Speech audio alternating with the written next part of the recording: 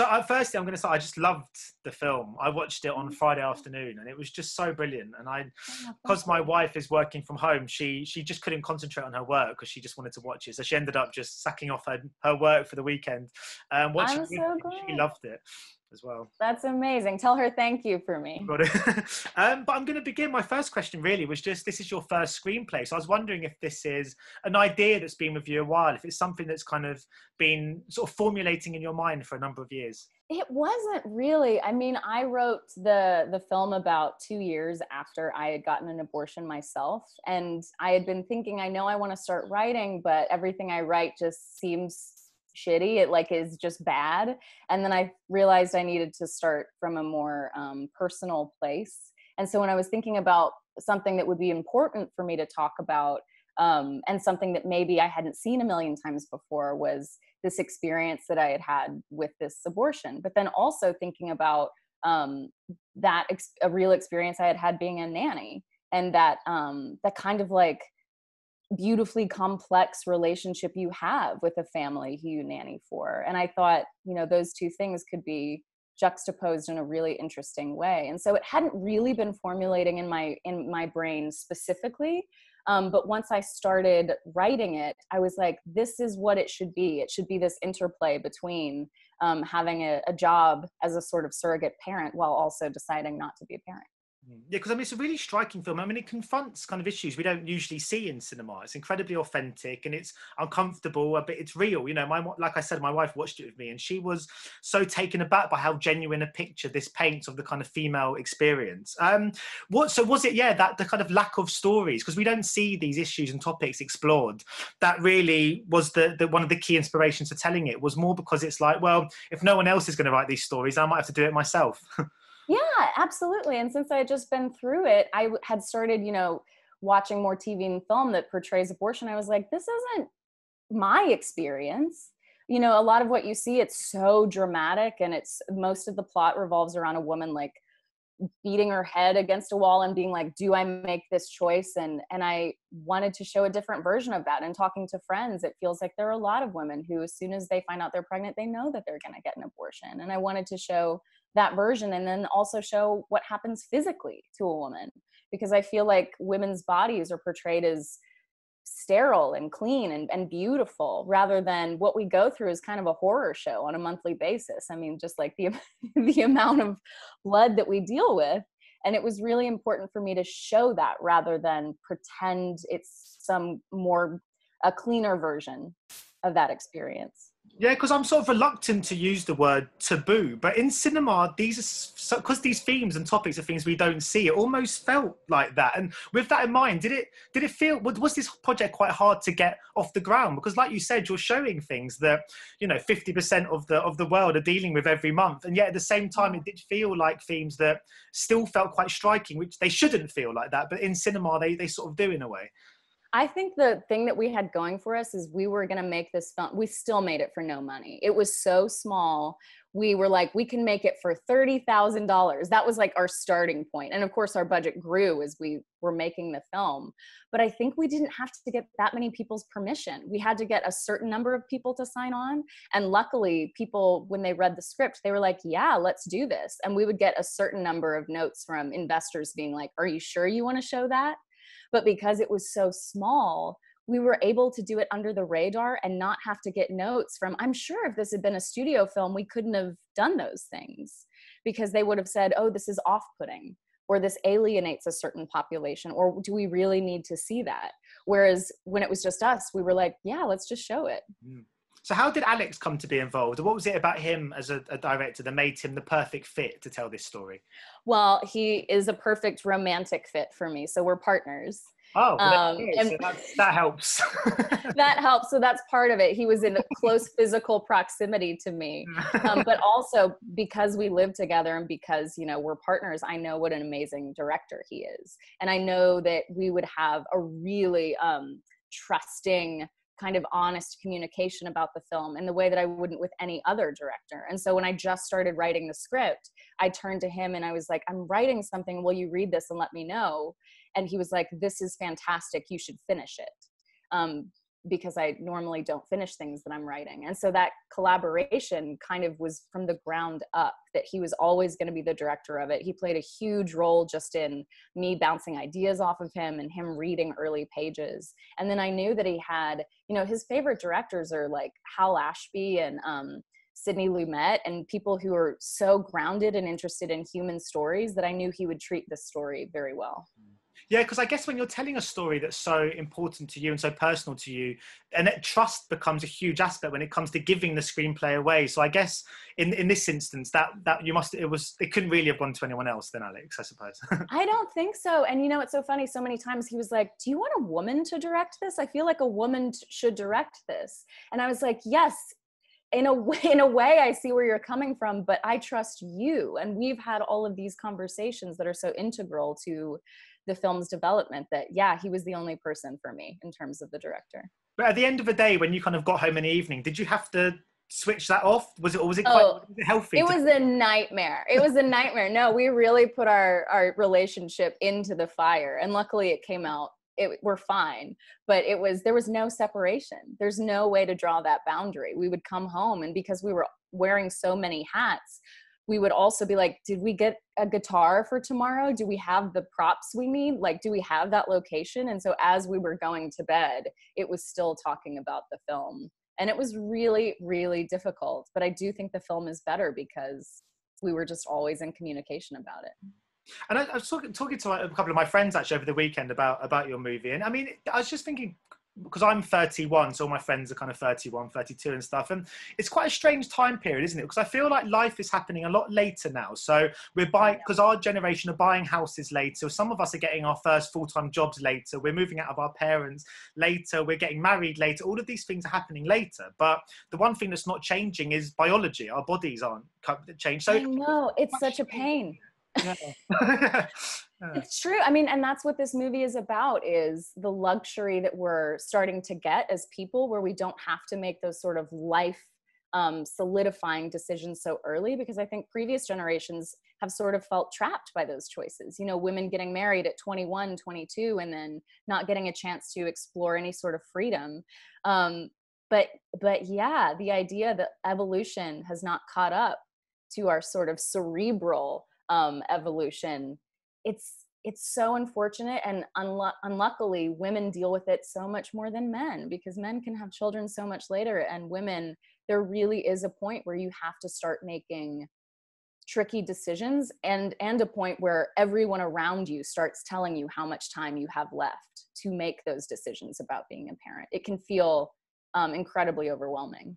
Yeah, because I well, my next question was going to be: Do you think that society puts too much pressure on women to, to kind of have children settle down? Because I've got a friend, and it's very innocent sometimes. She keeps she, she, dreads like Christmas and Boxing Day just because of her family sort of saying, "So, have you found someone yet?" type thing, and those conversations can be quite overwhelming and upsetting for her yeah i think there's way too much pressure put on women for that and i don't know because i'm not a man i don't know, know if men are encountering the same conversations but it feels like because there is this time limit on how late women can have children that it's a conversation that's more present there's almost this sense of like well you know george clooney can wait forever to make those kinds of choices and still be a dad and and it's women don't have that luxury mm. I wanted to talk quickly about the character of Bridget because one of the things I really liked about her was that she's not always sympathetic. Some she's a very yeah. flawed character. How important was that to this story that she is flawed and she isn't at times the most likable person in this film? Hugely, because I don't think we should. I don't think a woman should have to be likable in order for you to care about her story. Um, and she shouldn't be perfect because that's alienating for so many women like me who when they watch a you know a perfect protagonist are like how do i relate to this? I'm so much more of a you know i'm so much more flawed. Um, i'm i'm fallible. And so it was really important to have and i also just think like unlikable female you know not i don't want to use unlikable but um it's rare it's still rare to have a female protagonist who's messy who's messy in her life choices. And there's been a real um, surge in those characters recently because women have started writing more and that's really exciting you know phoebe waller-bridge is a huge inspiration just in terms of the way that she lets her characters be messy but you also love them and you feel seen by them um, for their fallibility. Uh, so yeah, so I was because I'm yeah, you were obviously working very closely with the wonderful Ramona in this. I was just wondering about that experience because I mean, people say it can be hard to work with children, but is she an exception to that? She seemed brilliant in the movie, and I gathered she, she would be a very easy collaborator she's the best. She's my favorite actor I've ever worked with. She kept things so real. Um, I felt like I kind of became a nanny again on this set because we would just play all day. They would call cut and she would be like, let's go over here and like swing on the swing and hang out. And so it kept things in such a like grounded, egoless, she really helped calm my anxiety about the film because all I could do was just be present with her because she is so present. And I think that you really see that in her performance. She's not acting, she's just being herself while also saying these incredibly complex lines. I mean, she's kind of, she seems to me like a little Meryl Streep or, you know, like up there with the best actors in the world that there's no performative, there's no pretending. She's just being herself. Yeah, because I mean, because I've, I've been on movie sets before where kind of kids are at the forefront of the p- project and they do seem to have their blissful perspective because they, they don't perceive this as being work. Uh, it seems very contagious around the whole set when they're around. It's nice, and you just can't get to things. Can't get to um, dour. You can't become too consumed in um, are we getting the shot or are we not getting the shot? Because there's a kid who's like, "This is fun. Why aren't you all having fun?" And it really is. It brought such a sense of play every time she was on set. And that's where you know acting starts from. It starts from a sense of play and curiosity. Yeah. Was it quite hard to say goodbye though? Because with adults i feel like when you've worked with another adult you you can whatsapp them you can meet up for drinks every every few months. But i feel like with with if you form a really strong rapport with a child when you have to sort of say goodbye it feels was it more kind of significant? Did it feel quite upsetting? It was heartbreaking. And that final scene in the movie is the final scene that we shot and so those emotions are real in terms of us saying goodbye to each other because we had spent a whole summer spending every day together.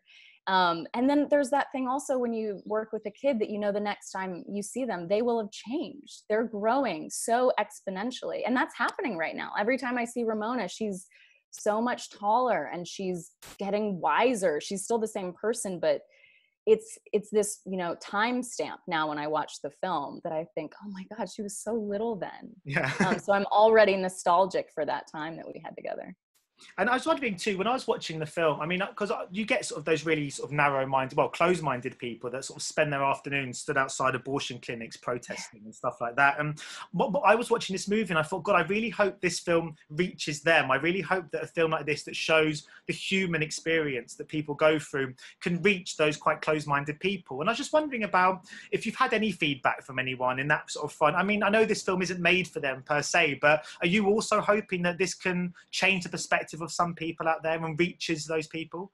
I am because hopefully it's a movie that doesn't hit you over the head. First and foremost, it's a human story, and an abortion is a part of the summer, but it's not the entire plot. And it's not condemning people who have other points of view. It's just showing the experience for what it is. And a really nice thing has been people of all ages, people who I would kind of assume were conservative, like grandmothers. Um, or, or people who are really religious um, have come up and said I was really affected by this movie and and I cried and I and I loved it. And so I don't know if it's changed their point of view on abortion or or anything like that, but I know that people who I wouldn't necessarily have expected to connect with it have, and that's been the most incredible thing. Yeah, yeah, it must be great because obviously this film played festivals back when festivals took place, you know.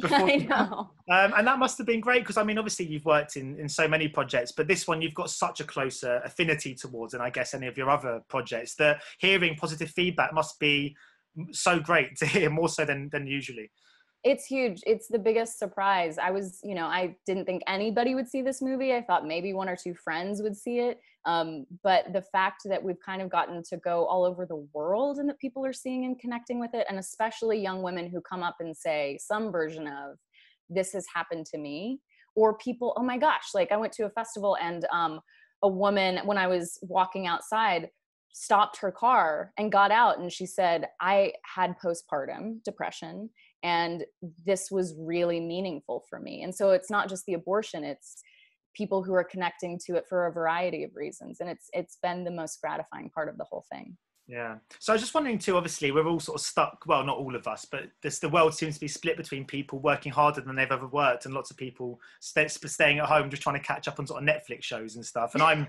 I'm in the latter camp. Um, but how, how have you found kind of lockdown? Because you, you obviously you, you're you're a writer. You know, have you found this? Is brought any creativity out in you? Or has it been quite a period to more sort of reflect?